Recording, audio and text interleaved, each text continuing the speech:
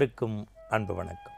இன்றைய புலர்காலை பொழுதில் புதிய விடியலில் உங்கள் அனைவரையும் உங்கள் பிரசித்தி பெற்ற ஜெயா தொலைக்காட்சியின் அருள் நேரத்தில் ஆனந்த ஆரம்ப நிகழ்வில் எங்கள் தொழில்நுட்ப கலைஞர்களோடும் நிகழ்ச்சி தயாரிப்பாளரோடும் சந்திப்பதில் மற்றற்ற மகிழ்ச்சி.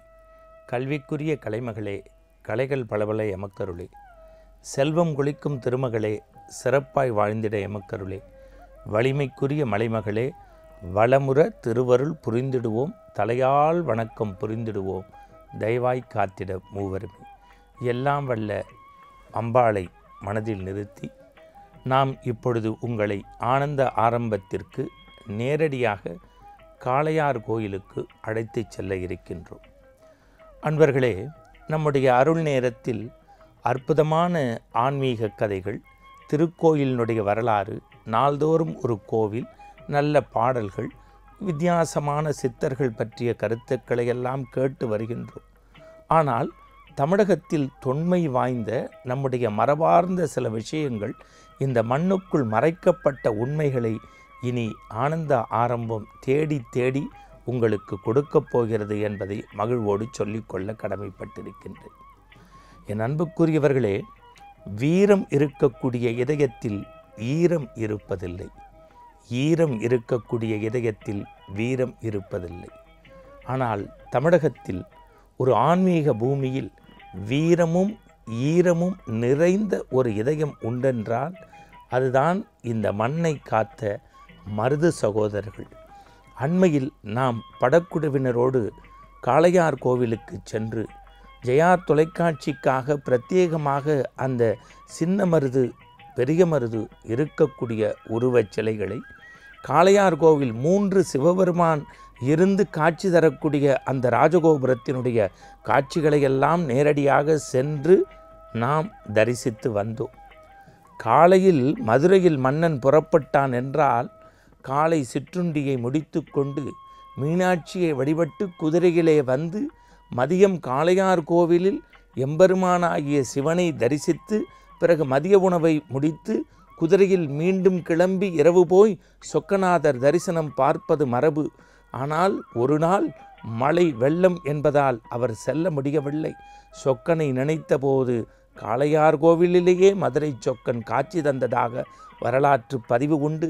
அதனால்தான் உயர்ந்த கோபுரத்துக்கு சொந்தக்காரரான மருது சகோதரர்களை நினைக்கின்ற அந்த காளையார் கோவில் கோபுரத்தில் நின்றால் இன்றைக்கும் மதுரை சொக்கனும் மீனாட்சியும் தருவதாக ஒரு காட்சி பொருள் ஐதீகம் உண்டு. இதற்கெல்லாம் ஏன் இப்படி சொல்கின்றேன் என்றால் சின்ன மருது பெரிய மருது வாழ்க்கையை நாமெல்லாம் படிக்க தவறிவிட்டோம். ஆங்கிலேயன் ஒரு வரலாற்று குறிப்பு எழுதி வைத்திருக்கிறான். அண்மையிலே அமெரிக்க நூலகம் நான் சென்றபோது எடுத்து படித்தேன். வேங்கைகளோடு ஆயுதங்களில்லாது போராடிய வீர தமிழர் குடியிலே பிறந்தவர்கள் சின்ன மருதுவும் பெரிய மருதுவும் என்கின்ற சான்று உண்டு. யாரோடு? வேங்கையோடு. அப்பேற்பட்ட சின்ன மருதுவும் பெரிய மருதுவும் மண்ணை ஒருவன் எடுக்க வந்தபோது கவலைப்படவில்லை. பொன்னை அபகரிக்க நினைக்க போது கவலைப்படவில்லை. நாற்காலி கேட்ட போதும் கவலைப்படவில்லை. ஆனால் ஒரு குறிப்பிட்ட நேரத்திற்குள் நீங்கள் சரணடைய விடையாவிட்டால் காளையார் கோவில் கோபுரம் தகர்த்து எரியப்படும் என்று சொன்னவுடன் சின்ன மருதுவும் பெரிய மருதுவும் இணைந்து அக்னியூ என்கின்ற கர்னல் அதை அறிவித்தவன் பெயர் ஆங்கிலேயன் அக்னியூ அறிவிப்பு. அவனுடைய சொல்லுக்கு கட்டுப்பட்டு காளையார் கோவில் கோபுரம் வீழ்ந்து விடக்கூடாது என்பதற்காக சரண் புகுந்தான். அப்படி வீர மண்ணிலே பிறந்த அவர்களை நினைக்கின்ற போதெல்லாம் உடம்புகளில் மயிர்கூச்சலோடு ஆனந்தம். நண்பர்களே பெரிய மருதுவினுடைய வரலாறை புரட்டி பார்த்து அந்த கோவிலை சுற்றி வந்தோம். பெரிய மருதுவுக்கு காளையார் கோவிலில் ஒரு ஆசை இருந்தது ஒரு பெரிய தேரை செய்து கோவிலுக்கு தர வேண்டுமென்று. ஆசாரிகளுக்கு அறிவிப்பு செய்யப்பட்டது பல பேரும் வந்தார்கள். குப்பமுத்து ஆசாரிக்கு அந்த பணி ஒதுக்கப்பட்டது. குப்பமுத்து ஆசாரியும் தேரை மிக நேர்த்தியாக செய்து முடித்தார். வெள்ளோட்டம் விட வேண்டும். வெள்ளோட்டத்திற்கு முன்பாக பெரியமருதுவும் குப்பமுத்து ஆசாரியும் பேசிக்கொண்டார்கள் குறித்த நேரத்தில் குறித்த நாளில் காளையார் கோயிலுக்கு தேர் செய்து தந்தீர்கள். மகிழ்ச்சி. உங்களுக்கு என்ன வேண்டும்? மன்னா வெள்ளோட்டத்தன்று நான் இந்த தேசத்தின் மன்னனாக வேண்டும். சரி தருகின்றேன். இதோ ராஜமுத்திரை என்று மோதிரத்தை கலட்டி போட்டார்.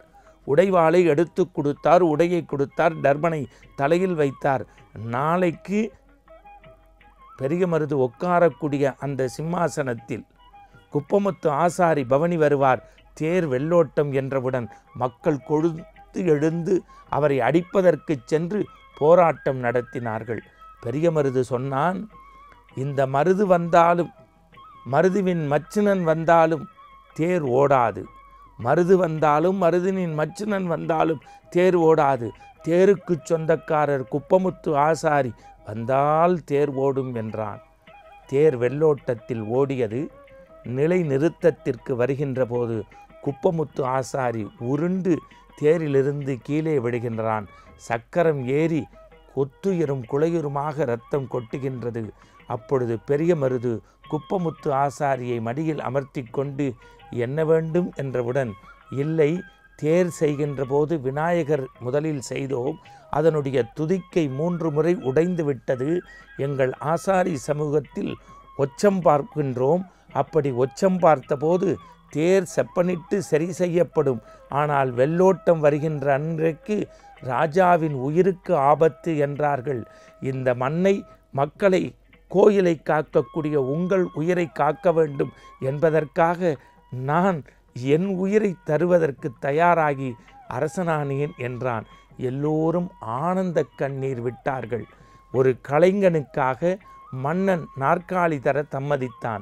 ஒரு கலைஞன் இந்த மண்ணை காப்பதற்காக தன் உயிரை தருவதற்கு தயாரித்தான் என்று சொன்னால் தமிழர்களுடைய வீரமும் ஈரமும் நிறைந்த காளையார் கோவிலுக்கு செல்லுங்கள். சின்ன மருது பெரிய மருதுவை இதயத்தில் தாங்குங்கள். அவரைப் போல இறைவனை வழிபட்டால் நாளெல்லாம் ஆனந்தம். மீண்டும் நாளை சந்திப்போம். வணக்கம்.